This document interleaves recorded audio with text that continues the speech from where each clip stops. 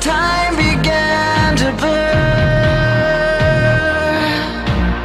Like a startling sign that fate had finally found me And your voice was all I heard.